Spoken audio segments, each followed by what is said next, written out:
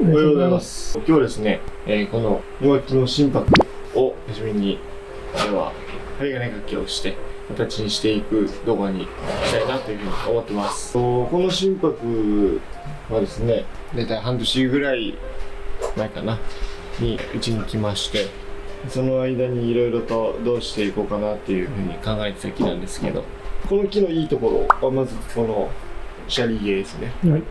この痛み気になったこのシャリの動きですよね。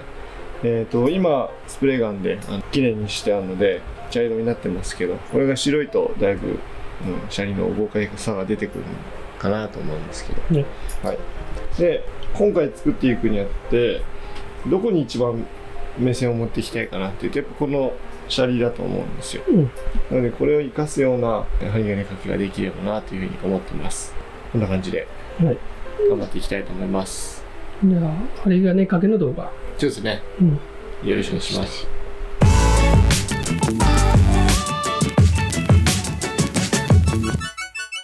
で場所移りました。はい。この心拍なんですけど、うちに来た時からだいたいこんな感じかなって思ってたのは、やっぱここに目線を、うん。えー、行かせたいので、このぐらいの角度にするのがベストかなっていうのが僕の見解というか、はい。かなと思いますので、今回は半券になるか県外になるかわかんないですけど、うん。えーそういうような形でちょっと寝かせたような形にしようかなと思っていますはい。現在のこの姿で言いますと、うんこの立ち上がりがまっすぐ上に上がってるんですよそうですねなの。でそこがやっぱりどうしてもネックになってくるので、はえー、とそこをどうしようかって考えた時にやっぱり寝かせるって方法と、うん逆に起こすっていう方法があるんですねでそうするとこの動きがより見えてくるんですけど枝的には寝かせた方が作りやすい作りやすいかなというふうに思いまして今回は寝かせる方法でいこうかなというふうに思ってますい。はい。構想としましてはここにある枝うん。が差し枝かなとはい思ってます、でこいつらはもう枝がないんですね、うん。なのでこれはもう地になるうん。予想ですでこのちょこっと生えたやつこれもともとこういう感じだったんですけど、うん。実際これがあることによってえっ、とまあいい面と悪い面があっていい面で言うとまあこの間延び感がちょっと抑えられるっていうところちょうどこのん輪の真ん中にある。そうですそうですそうで悪い面で言うと現在この姿なのではい。あまあ格好はつかないかなうん。将来的にもしかしたら必要になってくるかなと思うので、うんこれに関してはちょっと取っとこうかなと思ってまはい。すはい取っとくっていうのは残しとく。残しておく、はい、でこの辺が頭になってまあなるべくはこのシャリよりかは低く作りたいなとは思ってますうん。はい。そうするとこっちに目線が行くようになるのうんで。で差し枝がこれかなこれがじゃあちょっと大きいのかな？とそうですねそこをどうやかどうにか操作してあとはもう少し幹に近づけたいなっていうふうには思ってますなるほど。でちっちゃくなる？ちょっとちっちゃいまあ全体的にこの幹に対しては大きすぎるのでボうん。リュームが、それをちっちゃくするような針金かけかなと思ってますわかりました。はいじゃあ早速ちょっといらない枝抜きをしていこうかなとはい。地にするとこしないとこもあるので、うん枯れ枝を全部地にするわけではなくて、えー、と必要なところだけしていくっていうような感じなのでもういらないのは切っていこうかなとこいつらを差し枝にしたいんですけど、はい。これに関してもまあ同じような状況なんですね。それも一個だけ？ちょこっと出てああ、分かれて。そうそうそうでもこれじゃさすがに差し入れにならないから、どうしようかなと思ったけど、まあ、一応つけてはい。残しておこうかなと思います。これが枯れてる陣なんですけど何長くはいらないんじゃない？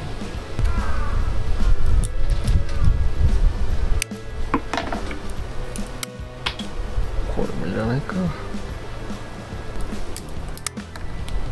うん枯れた枝を短くした。今はそうですねね。この辺ちょっと後でちゃんと削りたいと思いますはい。はいで一点なんですけどこことここで引っ張りたいんですようんうん。ぐーっとその時にこのシャリに当たるんですよはい。でこのシャリってくっついてはいるんですけど枝先が長いのでちょっと不安定な。んですね。なのでこいつらが当たると干渉しちゃうんですよね。この枝たちが。はい。だからちょっとだけこの枝たちも短く。うん。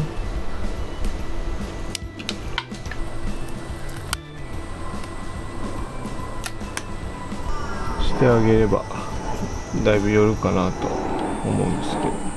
あらかじめどこにどの枝を操作しくっていうのは想定しておいてそれに干渉しそうなところは落としていくとやりやすいかもしれないですね。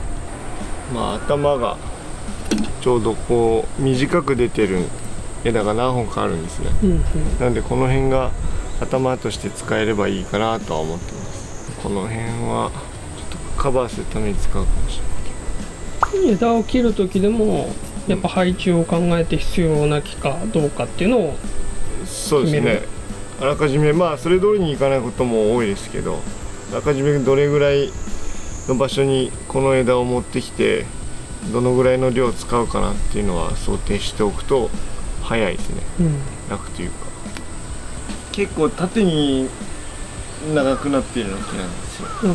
だから割と間を埋めるってことも考えないといけないから葉の量は残しとかないといけないかもしれない、この葉章に関しては糸魚川の本章うんなので少し葉は長くなりやすい章かもしれないですね。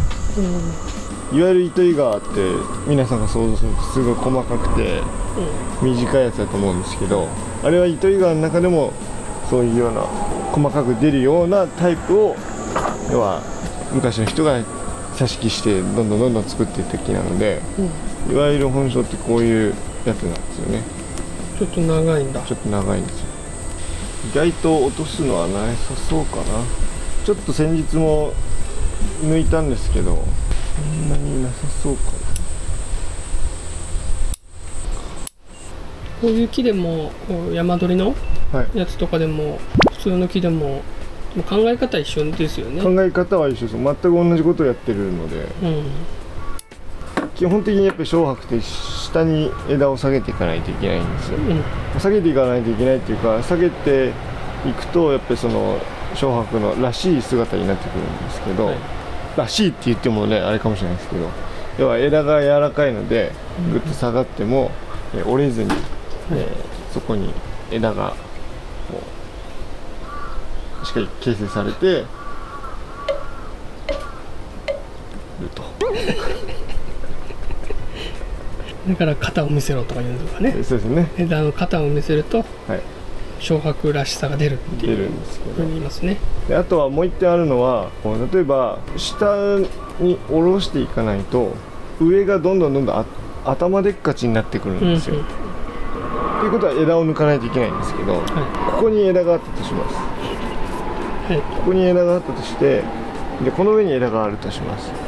これを下げたくても下がらないわけですよ。うんこの枝を抜いてあげるとこれで下がることができるんですね。はい。そうするとこの上にあるやつもおのずとその上に下げていけるっていう、でもこれが続くとどんどんどんどんこう角度が上がっていってあ頭でっかちになっちゃう。なるほど。ここはすごいなんか Y の字でこう頭がでっかい木とかたまに見ると思うんですけどはい。それは枝抜きをしてあげれば枝を下げれるのを解決できるんですね。っていうことです こんなもんでいいか。うん。であとはもう一点なんですけどこの木もえハスカシみたいなのやってあげると描きやすくなるんですね。はい。でそれを最初にやる人もいれば途中でやる人もいるんですよ。僕はかけながから。やる人とほうほう。せ先に全部やっちゃう人っているんですけど、僕は途中でやりたいタイプなので、はい。えー一枝かけてる時に例えばこういう嫌いないなっていうところの例えば下向きの葉っぱとかを取ってってあげて針金をかけやすくするっていう、うん。例えばこういうの紐っぽいのは使わないからこれ取ってあげるとか。してあげると針金がかけやすくなりますね。はい。詳しくはこちらの動画です。はい。はい。じゃあまずえっとこれを寄せていきたいんですけど、はい。これを寄せる中で寄せてからだとこの枝かけにくくなるんですよ。うんうん。だから先にこれをかけます。はい。その後にこれを寄せる作業をしたいかなというふうに思ってます。でまずこの枝に関しては若干この辺に来るようなイメージです。はい。前に来るっていうよりかは後ろでえ奥行きを出すために使うような枝です、でこの葉鞘は少しまだ荒れてるので本当に使うようなやつだけ残してあとはちょっと変な話ちょっと汚いですけどこう一旦はこう丸めちゃって一玉みたいな感じにしちゃおうかなと思ってます、でそれずっとやっていくと今度は詰まってこないので定期的に、えー広げてあげてこのさこの先で玉を作るようにししないといけないんですけど、一旦これだとちょっと使うことにならないんでこれでいこうかなと思ってます。である程度作業するときにどのぐらいの番手を使うかみたいなのにだいぶ皆さん迷うと思うんですけど、ある程度大きい作業するときには気持ち太い針金かければいいと思いますその中で骨が作っできてきてまた1年後2年後になったら枝先だけかけるように細い番手でやればいいと思うんですけど、うん。最初は一回やっぱ骨を作らないといけないっていうのである程度太い針金をかけるといいかなと思ってます。でしハスカシの時にも下になりそうだなっていう葉っぱとか、えー変変に極端に飛び出してる枝とか。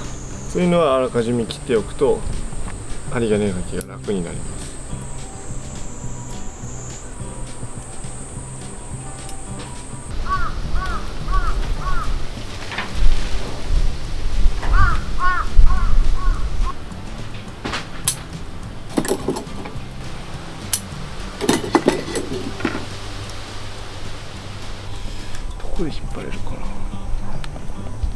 針金かけ終わったので寄せていくと。寄せていきたいんですけど今引っ張る場所探してます、はい。ここに入れるか。ここに入れて。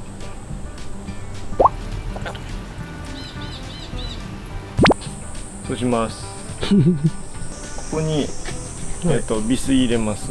ビス。はい。でここにゴムパッキンみたいなのして傷にならないようにはい。保護しながらここに針金かけたいんですけどはい。ここの針金と引くっていうような感じですね。どこ？こここの枝とこうやってかけたい。んですほうほう。ここに針金をか先にかけるからここと引っ張るって感じ。こうこにかかけてそれと引っ張る。とそう。で先に針金かける。ってそうことですね。はい。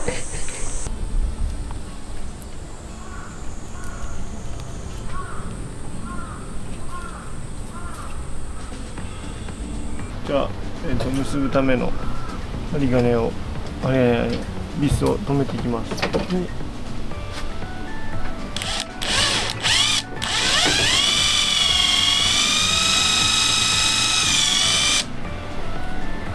これは車輪に合ってるんですか？シャリにやってますね。はい。は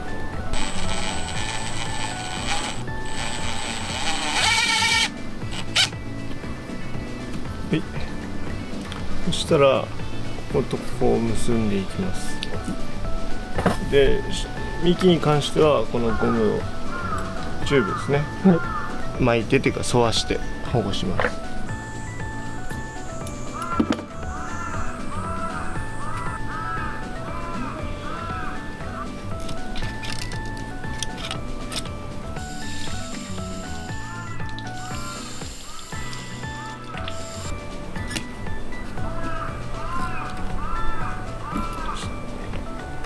大さん手伝ってもらってい。いですかこ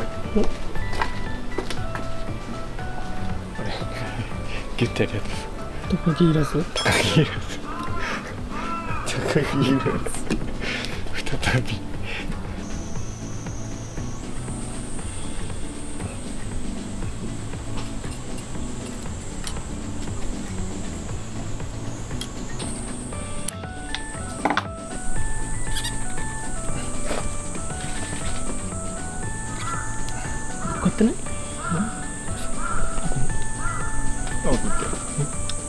とりあえず行けるとこまで来た。はい。うんオッケー。一回。はい。あ、あ、なんか落ちたあごめん一回。寄せて寄せます。はい、行きます。ちょっと一回や。ある程度寄りましたので、はいえーと一回この辺で針金がかけていこうかなと思ってますはいもう空いてますか開いてると思う。行ってきます。どういうの？あのレンレンタル。レンタル。チェンジしてきますはいね最後トイケンさんではリースも行ってるのかな？大宮限定。大宮限定。でぜひ。あの次2店舗目が。2店舗目？はい、お願いしますっていうふうお願いします。にさせていただいたんで。大宮限定。大宮限定で埼玉市でもないんだね。大宮駅周辺っていうこと。で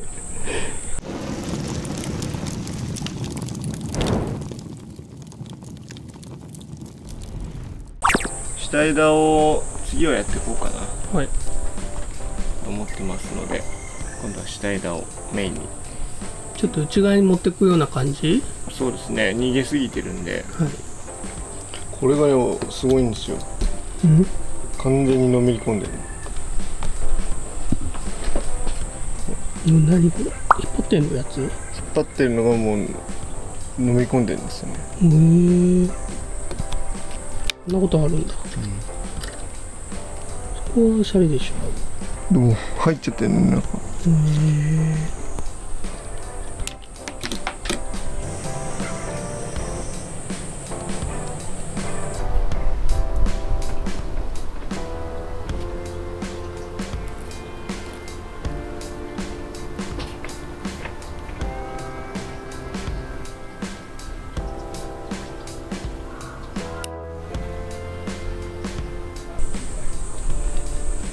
この動画はこれからずっとこれが続く感じですよね。そうですね。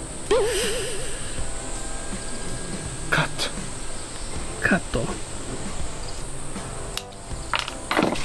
例えば針金掛けするときに心がけることなどはありますでしょうか？トまず前提として今って夏じゃないですか。はい。極端に水の上げ上がり方って落ち着いてはきたんですけどはい。それでも活動はしてるので、え特に心拍とか形成層がずれやすいうんので比較的は落ち着いた針金掛けをやるといいですね。無理をしてギュッとやるとずるっといっちゃうんですよ。うん水水水がはいそうするともう全体が枯れちゃうとかありえるので、そういう作業をやるときはやっぱ休眠期でやる冬にやるといいかなと思いますあ高木君よ、なるほどあんたと親父、あんた親父厳しい作業をするときは冬のがいいと。というのがあの一番無難ですよね、うん。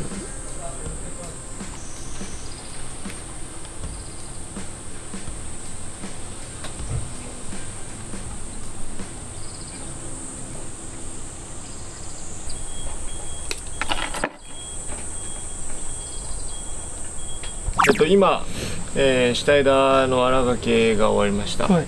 で、えっと、本来であれば新のかけ方だと今ここで一回作っちゃってあまあ、要は細かいやつまでかけてってことなんですけど、うん。で上に行くっていう手順でいつもやってるんですけど今回全部当日できるわけではないので日をまたぐ形になると思います。はい。で熱球さんも設営の兼ね合いもあるので、えっと、次お会いするのはのがまあできた後っていう感じになるかなと思うので、えっと、本来の手順僕のやり方とは違うんですけどもう今回荒書きを全部やっちゃって、うん姿出しに関してはもう視聴者の皆さんに見せながらまた別日にしようかなと思ってます。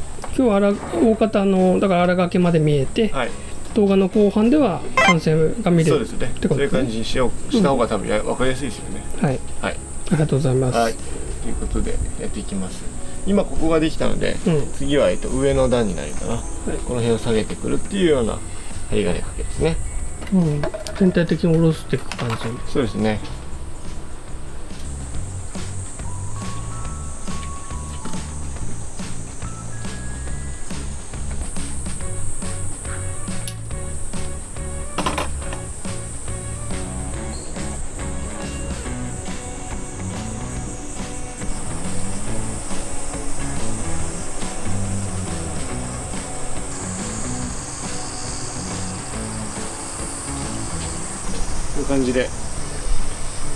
というかまあうん方向性が見えたのかなと思います、はい。で頭に関してはもうちょっとちちっちゃく低くしたいっていうのと、うん。全体の幅りをもっと縮めたいのではい。その辺は細かい針金をかけた段階で、えーちょっと、まあ、タグるなりして中心に寄せていこうかなと思って。うん。でこの時点だとそんなにねこうわかんないですけど。そうですね。まあしっかり棚作ってあげて弾みっていうかしっかり針金かかってるよって感じを出してあげれば。でも骨はもう決まってるんでねこれで。そうですね。ある程度は大きい枝は操作終わったのなるほど。はでで今かかってない枝が多いのでかけるとまた印象も違うんじゃないあ。なるほどね、これをか細かい枝のかけていくとカチッと決まるんだ。ははい。そういう予定でおります。い。それではじゃよしゆっくり。よい。しょピンチが立ちましてはい。ようやく完成しましたはい。県外帳で作りました構造として基本的にここを目立たせたかったので基本的にはここよりは頭を低く作るようにしましたはい、で基本的にはこの辺が差し枝としてしっかりぐっと力強さを出しながら、えーなるべく最初の印象よりかはコンパクトにしたうんつもりです、で、まあ、それでもちょっと葉が長い章ですし、はい。えっと、懐にもあんまり芽がなかったので、えーこのまま培養して、えー懐芽が元気になった状態で追い込んでいけばもう少しコンパクトになるかなというふうに思ってます。うんうん。はい。やっぱでも針金細かいのかけて綺麗になりましたねこれがもうちょっとうん吹いてきてくれればもう少し棚ははっきりすると思うんですけど、いかんせんちょっと芽数がそこまでねあの充実してないので少しは時間かかるとは思いますけどはい。このまましっかり培養をして枝棚を充実させればもう少し迫力が出てくるかなというふうに思ってます。はい。ここのはい。輪のはい。裏に枝行くのかなと思ってたんですよ。あかける前。はい。それはこれかこれがあるから。まあ一応ここで残しておいたうん。やつチビですね。こいつがいるからはい。とりあえず裏には。今のところは大丈夫かな。はあはあそういうことですね。どうですか？出来上がり満足度。ね。だいぶその、まあ、最初の話で言うと、うん。枝抜きとか目摘みとかがう僕がやったわけじゃなかったので、んはいはい。えー、とだいぶ苦労したところはあったんですけど、うんうん。ただ長いなりにちょっと手繰ってあのまとめられたのかなとは思います、うんなるほど。あと気になるのははい。この後植え替えとかあると思うんですけど、はい。蜂当たるんじゃないかなっていう。あ蜂はねそんな当たんないと思いますここ今当たってるじゃないですか。ここ当たってるけど実際ここに入れればいいので。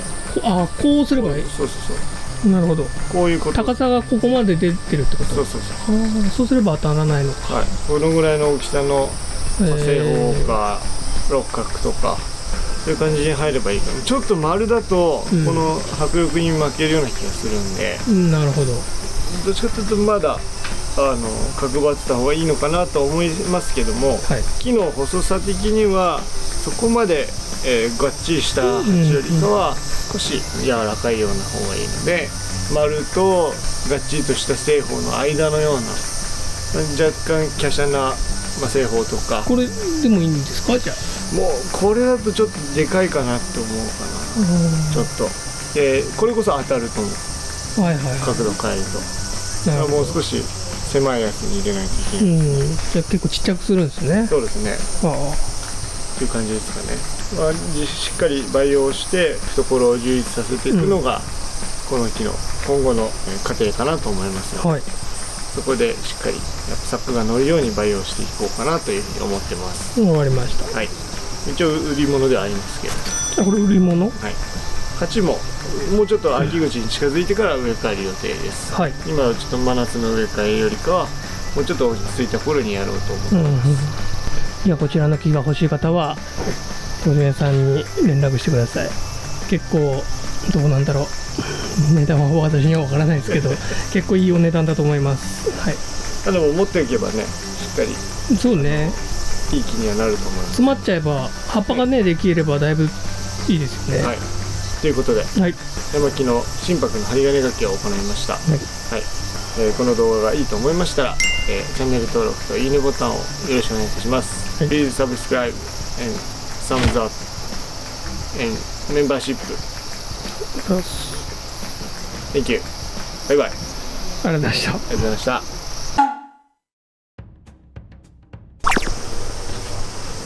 えっ、とここを残したんですけどここも残したんですよ私。この先も同じような感じで。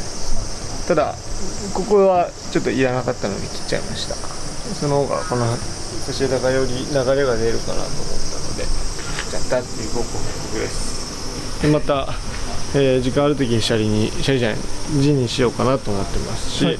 あとは今、えーシャリに関してはあのウォーターガンで削っただけなので、溶合剤を塗ってしっかり白くできればなというふうに思ってます。わかりました。はい。でそのぐらいの段階でどっかの動画のおまけにでもあそうですね。入れようと思います。はい。っていう感じではい。ありがとうございます。ありがとうございます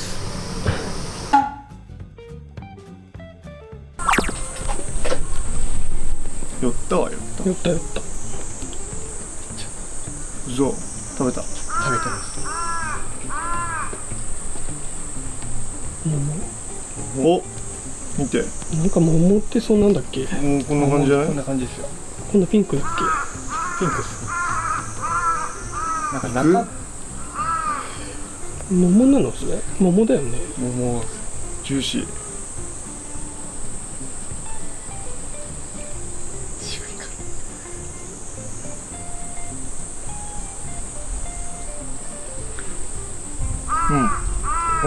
桃？桃の種の周りの味。あ 渋くはない。あ渋かめっちゃなんか口の中泡立つけど。何か。イガイガする。あそれじゃわからない。あ桃？桃の種の周りの味。周りのあのごゴツゴツしたところには隙間に入ってるところ。ですうーん。種の食べれる桃の盆栽の。桃？桃。桃の盆栽の実でした。これ植えればね。種が？ということで。ということで